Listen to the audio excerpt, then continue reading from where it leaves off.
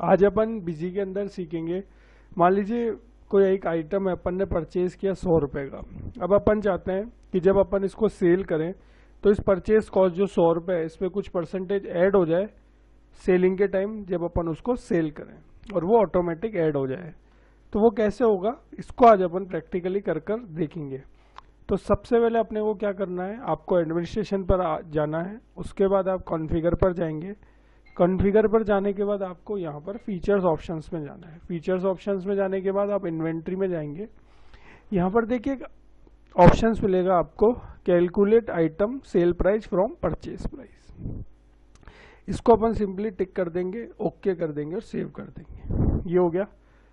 अब जैसे अपन ने कोई परचेज की एंट्री को सबसे पहले पास करते हैं, ये मैं परचेज पर गया और डेट ले लेते हैं, जैसे 10 दिसंबर ही ले लेते हैं। एक बिल नंबर ले लेते हैं, जैसे 119 ले लेते हैं, और लोकली अपन परचेज कर रहे हैं। पार्टी ले लेते हैं, जैसे जी जे एंटरप्राइजेस इनसे अपन ने क्या, एक 18 परसेंट का कोई आइटम है, वो परचेज किए हैं दस पीस। रेट लगा दी ढाई सौ रुपये और एंड में लग गया C G S T at G S T अब देखिए परचेज के समय इस आइटम की रेट है ढाई सौ रुपये अपन चाहते हैं कि इसमें कुछ परसेंटेज ऐड हो जाए और वो अपनी सेलिंग रेट हो जाए।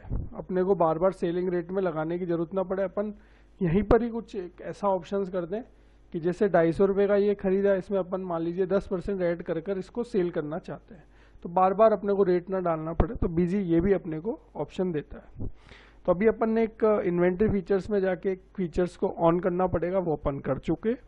अब अपन को F2 दबाना है। आप यहाँ पर F2 दबाएँगे, इसको सेव करेंगे।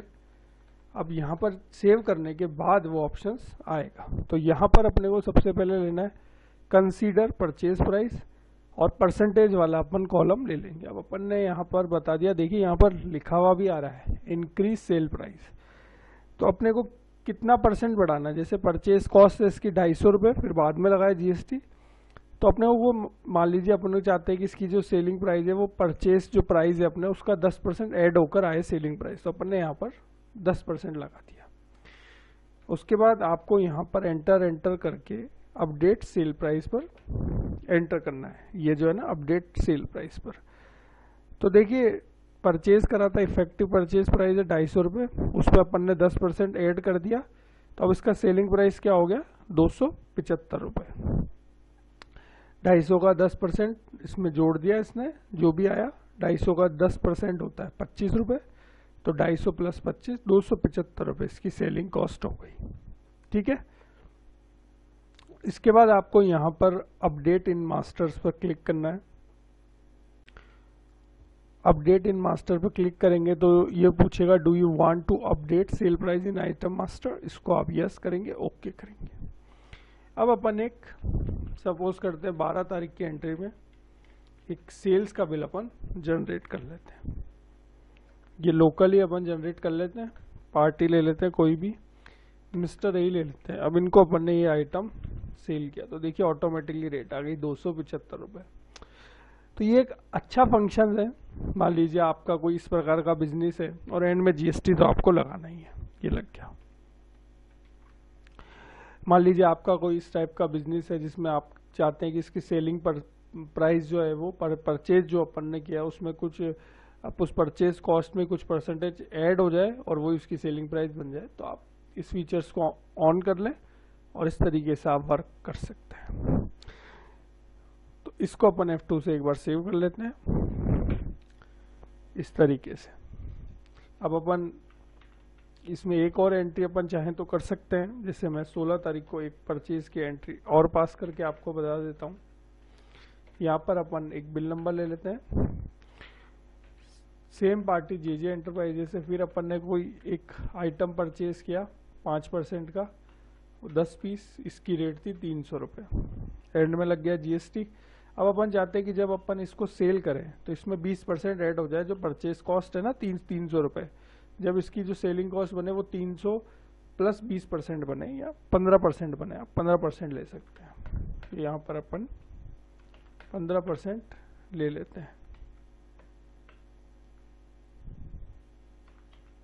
ये नीचे ढाई ढाई परसेंट हो जाएगा। गलती से नौ नौ ले लिया, ये ढाई ढाई हो जाएगा। ये हो गया। अब अपन इसको सेव करते हैं। और वापस वही ऑप्शन आ गया। Add percentage sale price calculation from purchase price purchase price कि आप कितना परसेंट बढ़ाना चाहते हैं? मैंने कहा पंद्रह परसेंट ये बढ़ गया। अपडेट सेल प्राइस अब देखिए परचेज करा तीन सौ में, फिर उसका पंद्रह परसेंट और ऐड हो गया तो सेलिंग प्राइस हो गई इसकी तीन सौ पैंतालीस रुपये इसको अपडेट इन मास्टर करेंगे, यस करेंगे, ओके करेंगे। अब इसी आइटम को अपन वापस सेल कर लेते हैं। 19 तारीख को 19 तारीख को अपन सेल का एक बिल बना लेते हैं। पार्टी ले लेते हैं, जैसे मिस्टर बी। आइटम सेलेक्ट कर लिया, ये देखिए। ऐड हो गया ना? तीन सौ पैंतालीस रुपये हो गया। यानी जो परचेज अपन ने किया था, उसमें पंद्रह परसेंट एड हो गया। तीन सौ का पंद्रह परसेंट पैंतालीस रुपये तीन सौ प्लस पैंतालीस, तीन सौ पैंतालीस रुपये सेलिंग कॉस्ट हो गई। और एंड में अपन इसमें जीएसटी वगैरह लगा देंगे। इस तरीके से आप इसकी एंट्री कर सकते हैं। तो आशा करता हूँ आपको ये मेरा वीडियो अच्छा लगा होगा। अगर वीडियो अच्छा लगा है तो मेरा बीजी का चैनल आप सब्सक्राइब कर लीजिए। मिलेंगे अपन एक नए वीडियो के साथ। अभी के लिए थैंक यू।